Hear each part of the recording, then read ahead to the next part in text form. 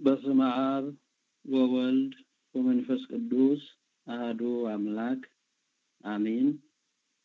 የተከበሩ አባታችን ክቡር ሊቀ ጉባኤ ቀሲስ ዝናሙ የደብረ ምሕረት ቅዱስ ሚካኤል ቤተ ክርስቲያን አስተዳዳሪ፣ አይንተ እግዚአብሔር ካህናት አባቶች፣ ላይካን ምስጢር ዲያቆናት፣ ወንድሞች በዚህ የስልክ መስመር ላይ ያላችሁ የእግዚአብሔር ልጆች አባቶቼ፣ እናቶቼ፣ ወንድሞቼ፣ እህቶቼ ሁላችሁም በእግዚአብሔር ፍጹም ሰላም እንደምን አላችሁ? እንደምን ቆያችሁ? እስከዚህ ሰዓት የጠበቀን የመከረን የተንከባከበን የአባቶቻችን አምላክ እግዚአብሔር ስሙ የተመሰገነ ይሁን።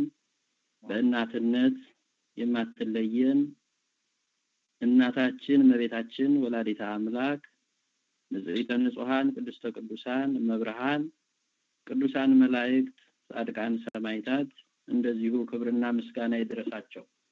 እንኳን ለትንሣኤ በዓል ሁላችሁንም በሰላም በጤና በሕይወት አደረሳችሁ። እግዚአብሔር አምላክ እንደፈቀደ መጠን ለዛሬ እግዚአብሔር ቢፈቅድ የምንማማርበት የትምህርታችን ርዕስ መረባችሁን በቀኝ በኩል ጣሉት የሚል ይሆናል። ይህንን ቃል የምናገኘው በዮሐንስ ወንጌል ምዕራፍ ሀያ አንድ ቁጥር ስድስት ላይ ነው። የዚህ ቃል ተናጋሪ ለስም አጠራሩ ክብርና ምስጋና ይግባውና ጌታችን አምላካችን መድኃኒታችን ኢየሱስ ክርስቶስ ነው። የተነገራቸው ደግሞ ከእርሱ ጋር ከዋለበት እየዋሉ ካደረበት እያደሩ የእጁን ታምራት የቃሉን ትምህርት በሚገባ የተከታተሉት ደቀ መዛሙርቱ ናቸው። ይህንን ቃል መዝግቦ ያስቀመጠልን በቤተ ክርስቲያናችን ብዙ ስሞች ያሉት ወንጌላዊው ቅዱስ ዮሐንስ ነው።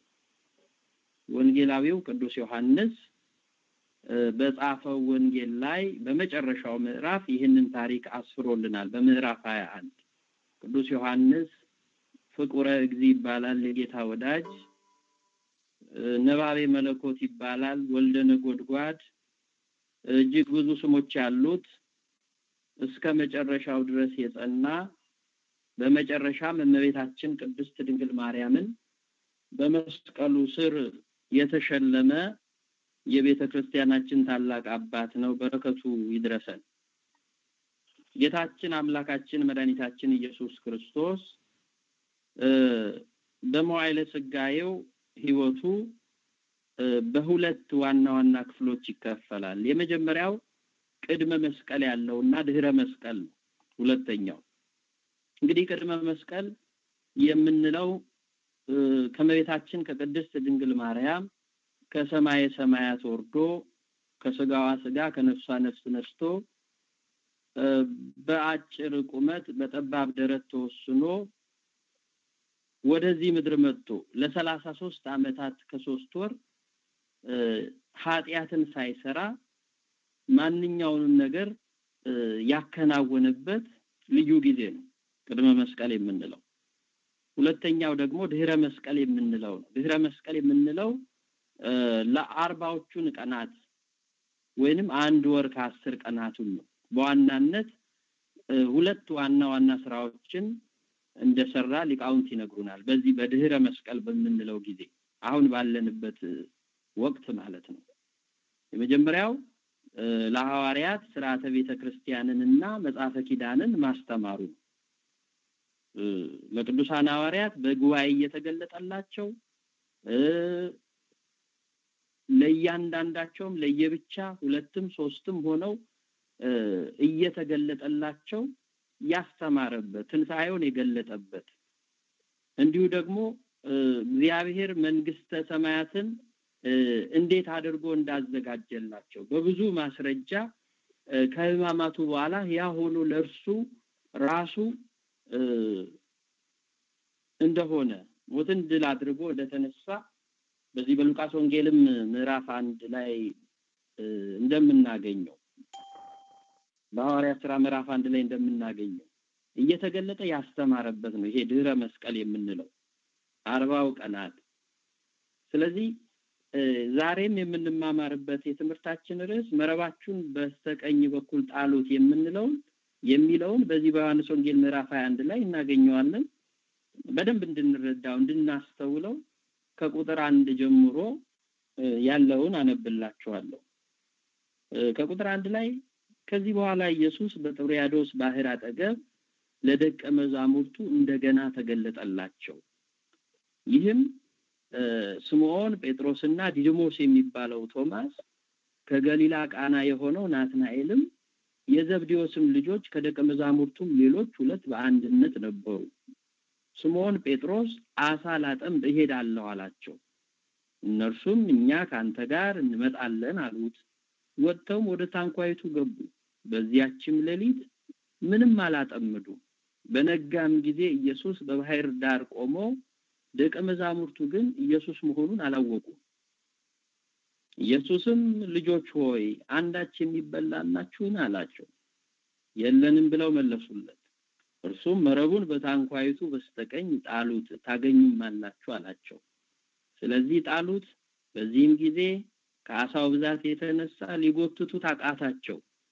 ኢየሱስ ይወደው የነበረው ደቀ መዝሙር ጴጥሮስን ጌታ እኮ ነው አለው። ስለዚህ ስምዖን ጴጥሮስ ጌታ መሆኑን በሰማ ጊዜ ራቁቱን ነበርና ልብሱን ታጥቆ ወደ ባህር ራሱን ጣለ ይላል። ስለ ቃሉ የአምላካችን ስሙ የተመሰገነ ይሁን። እስከ ቁጥር ሰባት ድረስ ነው ያለውን ያነበብኩት። እንግዲህ እሱ ከሞተ በኋላ ምንም እንኳን ትንሣኤውን ቢገልጥላቸውም በተለያየ ጊዜ እነሱ ግን ወደ ቀደመ ወደ ተዉት ስራቸው ተመልሰው ነበረ። ሌሎቹ ግማሾቹ ወደ ሌላ ቦታ እንደሄዱ ሉቃስና ቀለዮጳ ሸሽተው ወደ ኤማውስ እንደሄዱ እነዚህ ደቀ መዛሙርት ደግሞ ትተውት የነበረውን ሙያቸውን የአሳ ማጥመድ ስራቸውን ሊሰሩ እንደተመለሱ በወንጌል አስቀድሞ እናንተ እነ ጴጥሮስን ሲመርጣቸው እናንተ ከዚህ በኋላ አሳ አታጠምዱም፣ ከዚህ በኋላ የሰው ልጆችን በወንጌል መረብነት ለእግዚአብሔር መንግስት ታጠምዳላችሁ፣ ለእግዚአብሔር መንግስት ታቀርባላችሁ እንጂ ከዚህ በኋላ አሳ አጥማጆች አትሆኑም ብሎ ለይቶ ካመጣቸው በኋላ ወደዛ ወደ ተዉት ስራቸው ተመልሰው እንደገቡ ነው በዚህ የወንጌል ክፍል የሚነግረን። ነገር ግን በሌሊት ወጥተው ምንም ሙያው ቢኖራቸውም ያንን የቀደመ ግብራቸውን ሊፈጽሙ ቢሄዱ አልተሳካላቸውም። ሌሊቱን ሙሉ ደከሙ ነው የሚለው። ሞከሩ፣ መረባቸውን እየጣሉ በግራም በቀኝም በፊትም በኋላም እየጣሉ አሳ ለማጥመድ ሞከሩ፣ አልተሳካላቸውም። ልብ አድርጎ የእግዚአብሔር ልጆች፣ እግዚአብሔር በረድኤት የሌለበት ነገር አይሳካም። ነገር ግን የኋላ ኋላ በነጋ ሰዓት ጌታችን አምላካችን መድኃኒታችን ኢየሱስ ክርስቶስ ቅድም እንዳነበብኩት ተገለጠላቸው። ልጆቹ የሚበላላችሁን ብሎ ጠየቃቸው። ያውቃል፣ ሁሉን ያውቃል እሱ። ነገር ግን ጠየቃቸው። ከዚህ በኋላ ምንድን ነው ያሉት? አንዳች የለንም ነው ያሉት። አዎ ደከምን፣ ከሌሊት ጀምሮ ወጣን ወረድን፣ አንድም አሳ ልናገኝ አልቻልንም። እነሆ መረባችሁን በቀኝ በኩል ጣሉት አላቸው። ከዚህ በኋላ ደክመናል፣ ወጥተናል፣ ወርደናል፣ ነገር ግን በስምህ እንጥላለን ብሎ ቅዱስ ጴጥሮስ መረቡን በቀኝ በኩል እንደጣለና ያ ባዶ የነበረው መረብ በአሳ እንደተመላ በዚሁ በመጽሐፍ ቅዱስ ላይ ሰፍሮ እናገኛለን። አዎ ያ መረብ እስኪበጠስ ድረስ መቶ ሀምሳ ሶስት አሳዎችን ጎትተው እንዳወጡና ከዚያ በኋላ ያን የወደው የነበረው ደቀ መዝሙር ቅድም እንዳልኩት ቅዱስ ዮሐንስ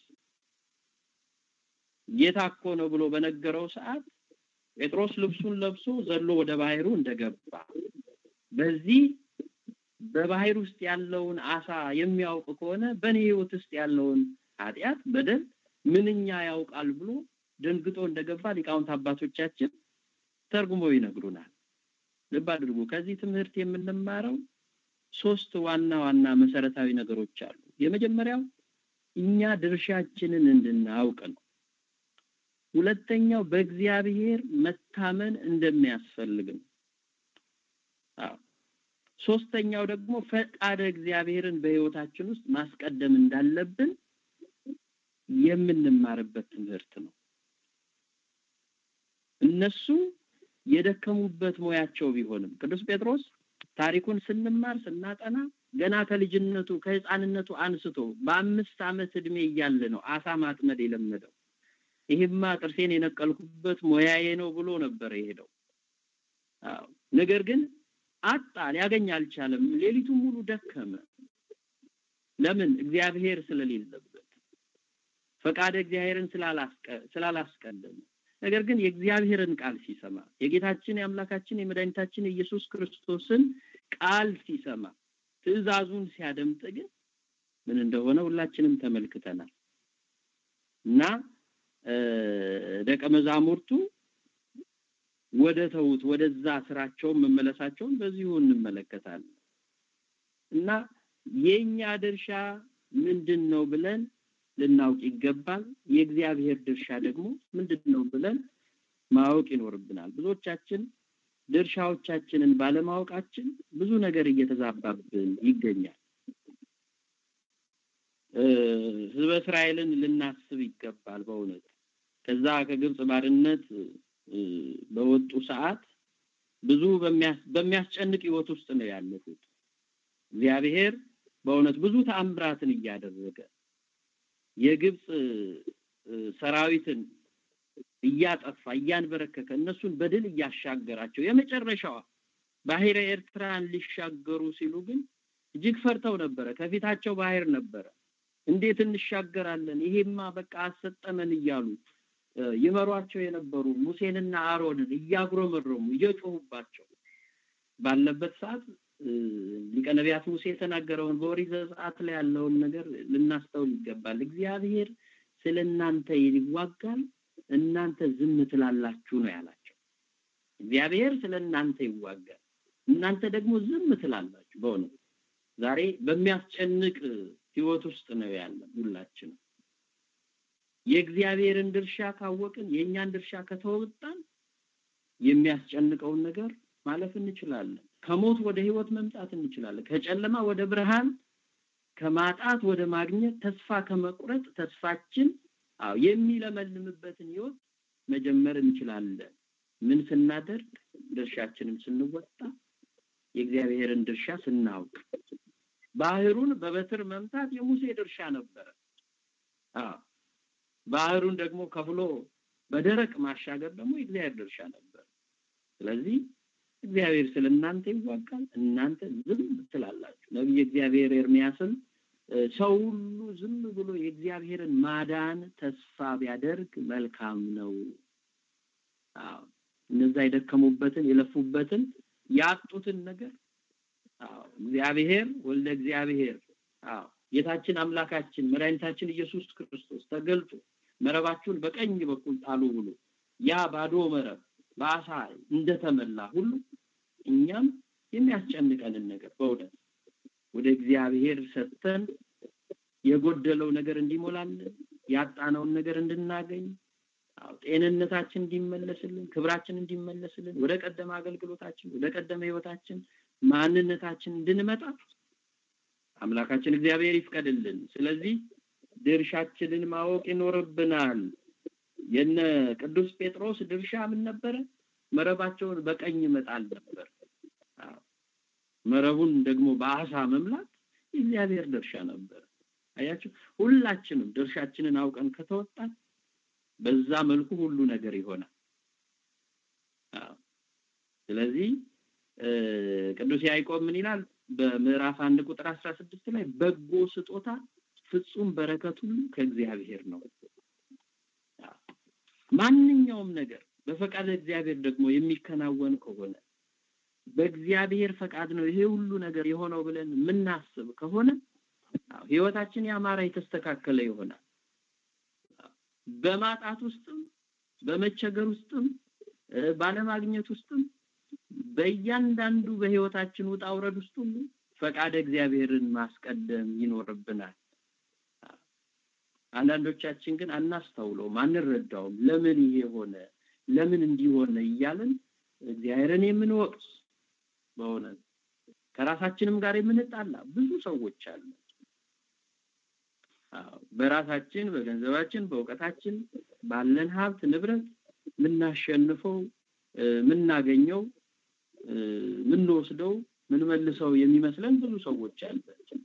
ስለዚህ የእግዚአብሔርን ፈቃድ ልንፈጽም ይገባል። ቅዱሳን ሐዋርያት የእግዚአብሔርን ፈቃድ የእግዚአብሔርን ቃል ሰምተው ነው ለዚህ ክብር የበቁት ወይም ያጡትን ነገር ያገኙት። ስለዚህ በቀኝ ጣሉት፣ መረባችሁን በቀኝ ጣሉት። ምን ማለት ነው? ለምንድን ነው በቀኝ ጣሉት ያላቸው? ቀኝ ማለት የእግዚአብሔር ኃይል ማለት ነው። ቅዱስ ጳውሎስ በሮሜ መልእክቱ ብዙ ሰዎች የሚሰናከሉበት በእውነት በምዕራፍ ስምንት ቁጥር ሰላሳ አራት ላይ ያለ ቃል አለ። የሞተው ይልቁንም ከሙታን የተነሳው በእግዚአብሔር ቀኝ ያለው ይለዋል ኢየሱስ ክርስቶስን አምላካችን። እኛ ኢየሱስ ክርስቶስ ስንል እግዚአብሔር አብ፣ እግዚአብሔር ወልድ፣ እግዚአብሔር መንፈስ ቅዱስ ማለታችን እኩል የሆነ ፈራጅ የሆነ አምላክ የሆነ ፈጣሪ የሆነ ገዢ የሆነ ስለዚህ ችግራችሁን ጭንቀታችሁን በእግዚአብሔር ላይ ጣሉ ማለት ነው። በእግዚአብሔር ላይ ለእግዚአብሔር ስጡት።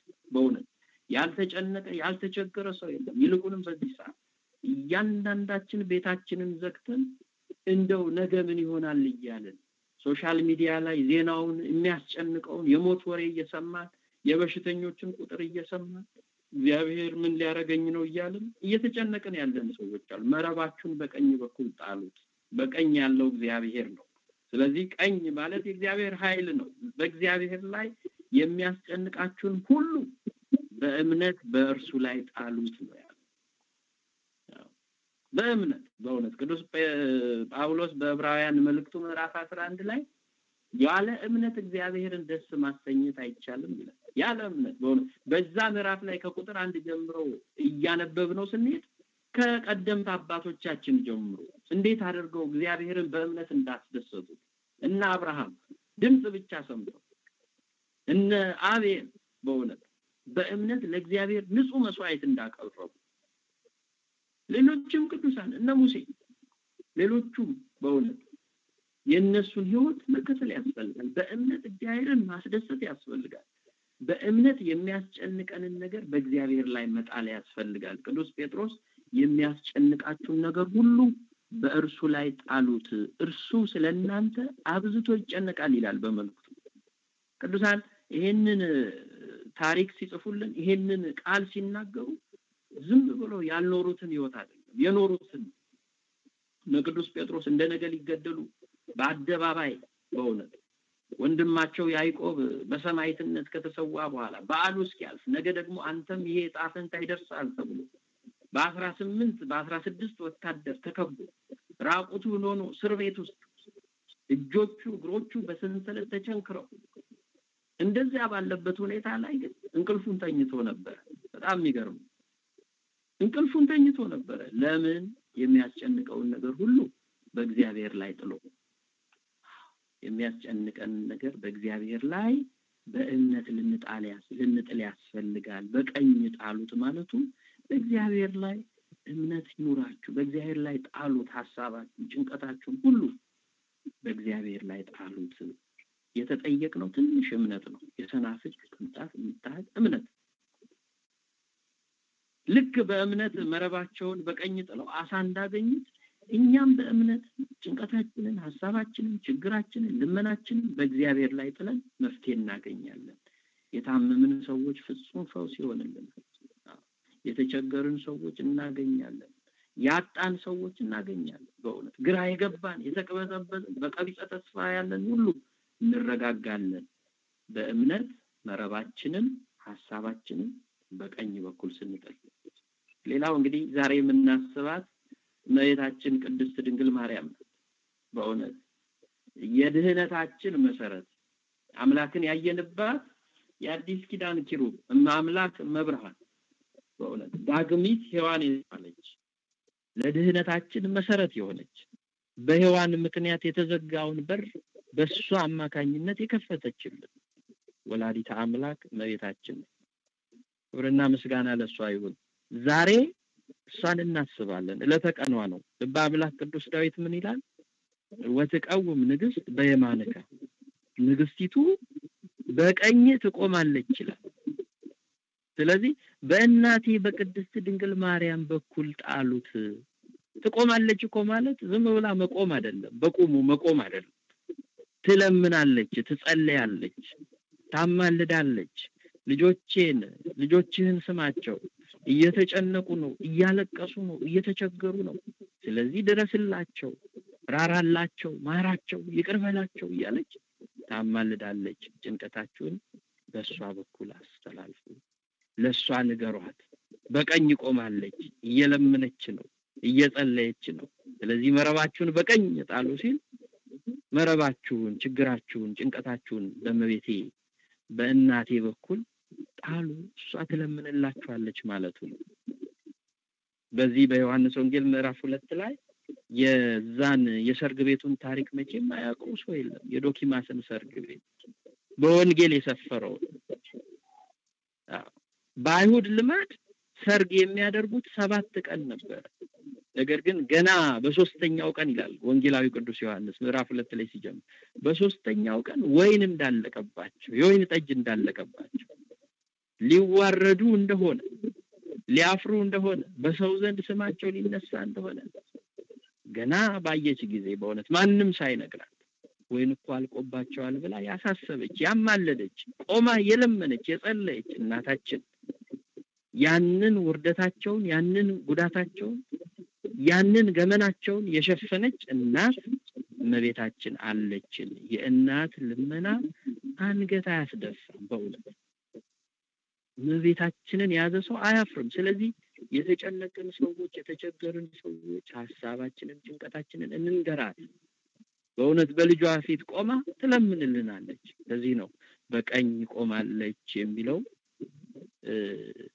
ሀሳባችንን ጭንቀታችንን በቅዱሳን በኩል በእውነት ልናቀርብ ልንለምን ይጠበቅብናል። ዛሬ ብዙ የጎደለብን ነገር አለ። በእውነት ልክ እንደ ዶኪማስ ቤት በትዳር ውስጥ ያለን ትዳራችን ውሃ ውሃ ያለብን አልጥም ያለን በእውነት እዚህም ሀገር እየሮጥን ሌት ተቀን እየሰራን ምንም እንዲሁ እንደባከንን ያለን ብዙ ሰዎች አለን። በእውነት ያንን ውሃ ውሃ የሚለውን ትዳራችንን ወደ ወይን ጠጅ ትቀይርልን፣ እመቤታችን ታስቀይርልን። በፍጹም ልብ በእምነት ወደ እሷ ቀርበን እንለምናት። ስለዚህ መረባችሁን በቀኝ በኩል ጣሉ ያለበት ምክንያት በእናቴ በቅዱሳኑ እኔ በምወዳቸው በእውነት በባለሟሎቼ አማካኝነት በመላእክቱ፣ በጻድቃኑ፣ በሰማዕታቱ በኩል ጠይቁኝ ይሆንላችኋል፣ ስለ እናንተ ቆመዋል። ስለዚህ በቀኝ ጣሉ ብሎ ጌታችን ለደቀ መዛሙርቱ አስተምሯቸዋል። ስለዚህ ያስጨነቀንን ነገር በተለይም በዚህ ሰዓት በእውነት ብዙዎቻችን ተጨንቀን ተጠበን ነው ያለን እና ይህንን የሚያስጨንቅ ነገር በቅዱሳኑ ላይ ልንጥል ይገባል። ሌላው ፈቃድ እግዚአብሔርን ደግሞ ማወቅ ያስፈልጋል። እግዚአብሔር ሰውን በክፉ እንደማይፈትን በዚህ ህመም ምክንያት ብዙዎቻችን ራሳችንን እንድናይ እንድንመረምር በህይወታችን ውስጥ የመጣው ነገር ትላንት ምን እያደረግን ነው፣ ዛሬስ ምን እያደረግን ነው እያለን ራሳችንን እንድንመረምር፣ እንድናስብ፣ እንድናስተውል የመጣ ነገርም ይሆናል። ስለዚህ የእግዚአብሔርን ፈቃድ ማወቅ ያስፈልጋል። ልበ አምላክ ቅዱስ ዳዊት ምን ይላል?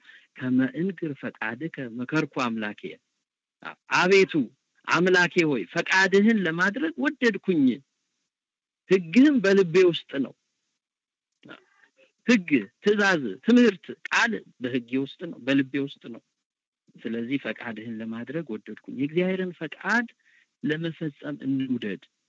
ብዙዎቻችን የፈቃድ እግዚአብሔርን ምንነት እንዳናውቅ የሚጋረዱብን ብዙ ነገሮች አሉ። በእውነት ከበጎ ነገር ብቻ የማንማር የማንጠቀም ሰዎች አለን። ብዙዎቻችን በእውነት አንድ ነገር እግዚአብሔርን ጠይቀ ነው መልካም የመሰለንንና እስኪደረግልን ድረስ የጓጓለትን ነገር በተፈጸመልን ጊዜ እግዚአብሔርን ችላ የምንለው የምንረሳው፣ የማናመሰግነው ተመልሰን ወቃሾች የምንሆን ብዙዎቻችን አለን። ሌላው ደግሞ ከክፉ ነገር ደግሞ የማንማር ሰዎች አለን። በእውነት የማንጠቀም ክፉ ነገር ሲመጣ ለምን መጣ ብለን በእውነት ከዛ ተምረን የማንመለስ ብዙ ሰዎች አለ። ኢዮብን ሁላችንም ማስታወስ ይኖርብናል። ኢዮብ በእውነት እንደ ኢዮብ የተፈተነ ማንም የለም። በእውነት ብዙዎቻችን ተፈትነናል እንላለን በትዳራችን፣ በኑሯችን፣ በልጆቻችን። ነገር ግን የኢዮብ ፈተና ከማንም ጋር የሚስተካከል አይደለም። በእውነት ከሰዎች ልጆች በአንድ ሌሊት በአንድ ጀንበር አስር ልጆቹን ያጣ በቁስል የተመታ ሀብቱ ንብረቱ የወደመበት የገዛ ሚስቱ የስጋው ቁራጭ የአጥንቱ ፍላጭ የሆነች ሚስቱ ከሱ አልለይም ብላ በቃል ኪዳን የተወሰነች ሚስቱ እግዚአብሔርን ስደብ ብላ እስክትክደው ድረስ ነገር ግን እሱ እግዚአብሔር ሰጠኝ ሰዎች ወሰዱብኝ አላለም። እግዚአብሔር ሰጠኝ፣ እግዚአብሔር ነሳኝ፣ የእግዚአብሔር ስም የተመሰገነ ይሁን ብሎ እግዚአብሔርን ያመሰገነ ድንቅ አባት ነው። ስለዚህ ክፉ ነገር እንኳን ሲመጣ ከዛ ክፉ ነገር ልንማር ይገባል። እንደ ኢዮብ ማለት ነው። ዛሬ የታመምን ሰዎች ልንኖር እንችላለን። ለዚህ በሽታ የተጋለጥን ሰዎች ልንኖር እንችላለን። በእውነት እግዚአብሔር ግን የሰው ልጆችን በክፉ አይፈትንም። ቅዱስ ያዕቆብ እንደሚናገረው ነገር ግን ቅዱስ ጳውሎስ ደግሞ ምን ይላል? ከቅድስናው እንድንካፈል ለጥቅማችን ይቀጣናል ይላል በዕብራውያን መልእክቱ። ከቅድስናው ዛሬ የታመምን ሰዎች በእውነት እግዚአብሔርን በደንብ እንድንለምድ እምነታችንን በደንብ እንድናጠን ከእሱ ጋር የሙጥኝ እንድንል ውሸም ስለዚህ እግዚአብሔር ያንን ቅድስናውን ክብሩን እንዳናጣ እንዲህ ሊያደርገን ይችላል። ነገር ግን እንድንጠፋበት አይፈልግም። ቅድም የኢዮብን ታሪክ አንስተና ኢዮብ ከነበረው ሁለት እጥፍ ያገኘው ከቀደመ ክብሩ ወደሚበልጥ ክብሩ የተሸጋገረው እግዚአብሔር በክፉ ውስጥ ያለውን የማዳን ኃይል በማመን እግዚአብሔር ሰጠ፣ እግዚአብሔር ነሳ። እግዚአብሔርን ለሚወዱት እንደ ሀሳቡም ለተጠሩት ነገር ሁሉ ለበጎ እንዲደረግ እናውቃለን ይላል ቅዱስ ጳውሎስ። ደግሞ ማንኛውም ነገር በሕይወታችን የሚደረገው ማንኛውም ነገር ለበጎ እንደሆነ እግዚአብሔር አንዳች ነገር ሊያስተምርን እንደሆነ ልናውቅ ልንረዳ ያስፈልጋል። ዛሬ በእውነት ቤታችን ቁጭ ብለን በርና መስኮታችንን ዘግተን እንዲሁ እየተሸበርን እየተጨነቅን እያለቀስን ወይም ደግሞ ያልተገባ ነገር እያደረግን መቆየት የለብን። በእግዚአብሔር ላይ ፍጹም እምነት ኖሮ ስሙን እየጠራን ለእሱ መገዛታችንን ምጥ የሌለው እምነት እንዳለን አስረግጠን ራሳችንን ልናውቅ ይገባል። እግዚአብሔርን በእኛ ሊደሰት ይገባል። ስለዚህ ይህንን በማድረግ የመጣውን ነገር ሁሉ ለበጎ ነው ብሎ እግዚአብሔርን እያመሰገኑ በማለፍ ከዚህ ከክፉ ነገርም መማር ይኖርብናል በእውነት። ስለዚህ ፈቃደ እግዚአብሔር ትልቁ ነገር ነው እና እግዚአብሔር ይህንን ነገር ለምን አመጣው? ይሄ ነገር በህይወታችን ስለምን ሆነ? ብዙ እኮ አስበን ይሆናል። ብዙ ነገር ብዙ ነገር አቅደን ሊሆን ይችላል። እግዚአብሔር እሱ ባወቀ እሱ በተረዳው ለእኛ ይጠቅመናል ብሎ ያሰበውን ይህንን ነገር አድርጓል። እግዚአብሔር ይህንንም ስላልነሳን በእውነት ድምፃችንን ቃሉን እንድንሰማ ትኩረት እንድንሰጥ ስላደረገ ክብርና ምስጋና ይገኝ። ስለዚህ በሚሆነው በሆነውም ነገር ሁሉ እግዚአብሔርን ማመስገን ይኖርብናል። አባቶቻችን እየደከሙ ነው። በእውነት ጥሩ አባት አላችሁ ናቸው እየደከሙ በእውነት ልጆቼ ልክ አንድ አባት አንዲት እናት ልጇ ጾሟን እንዳያጥርባት የሚበላውን የሚጠጣውን እንደምታዘጋጅለት ሁሉ ልጆች ቃለ እግዚአብሔር ተርበው ደግሞ እንዳያድሩ እንዳይውሉ የሚያጽናናቸው የሚያበረታቸው የእግዚአብሔር የነፍስ ምግብ የሆኑ ቃለ እግዚአብሔርን ይማሩ ብለው እየደከሙ በእውነት እግዚአብሔር ይህንንም ስላላሳጣችሁ አይዟችሁ የሚል የሚመክራችሁ ቃሉን ድምፁን የሚያሰማችሁ አባት ስላላሳጣችሁ ክብርና ምስጋና ለሱ። ስለዚህ በሚሆነው ነገር ሁሉ ደስተኞች ልንሆን ይገባል። የእግዚአብሔርን ፈቃድ ልንሰጠው ይገባል። ስለዚህ እንደው እግዚአብሔርን ማማረር አይገባም። መረባችንን፣ ጭንቀታችንን፣ ችግራችንን በእውነት ሀሳባችንን፣ ማንኛውንም ነገር በእግዚአብሔር ላይ በቅዱሳኑ ላይ ጥለን መጪውን ጊዜ መጠባበቅ ይኖርብናል። ያስተማረን የመከረን ልዑለ ባህሪ አምላካችን እግዚአብሔር ክብርና ምስጋና ለስሙ ይሁን። እኛም በተማርነው ሰላሳ ስልሳ መቶ ፍሬ እንድናፈራበት ዳግመኛ በቅድስናው አደባባይ ተገኝተን ስሙን እንድንጠራበት ከቀደመ ግብራችን ተመልሰን በአዲስ ሕይወት በንስሐ በስጋው ደግሞ በጸሎት ወደ እግዚአብሔር ተመልሰን አዲስ ሰዎች የምንሆንበት እንደዚሁ ደግሞ ለደቀ መዛሙርቱ በተዘጋ ቤት ውስጥ ገብቶ ሰላም ለእናንተ ይሁን ብሎ ትንሣኤውን እንዳበሰረ በእውነት አምላካችን እግዚአብሔር ዛሬ እኛ በራችንን መስኮታችንን ዘግተን በተጨነቅንበት ሰላም ባጣንበት ሰዓት እረፍት ባጣንበት ሰዓት ያንን ሰላም ያንን የምስራች አምላካችን እግዚአብሔር ለሁላችንም ያሰማን። ብዙ ችግር አለብን፣ ብዙ ጭንቀት አለብን። ነገር ግን መጨነቅ በራሱ ሌላ በሽታ ስለሆነ ጭንቀታችንን፣ ችግራችንን ሁሉ በእግዚአብሔር ላይ ጥለን በቅዱሳኑ አማላጅነት ተማምነን እንድንኖር አምላካችን እግዚአብሔር ይፍቀድልን። ወስብሐት ለእግዚአብሔር። ይቆየን።